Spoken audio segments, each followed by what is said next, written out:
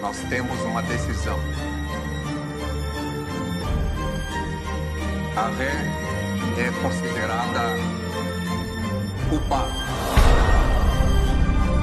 A ré está condenada à pena máxima. Cumprirá 30 anos de acordo com a lei solo nacional.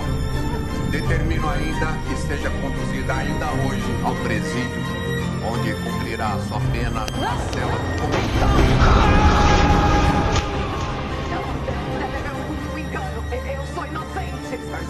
tribunal. No, no soy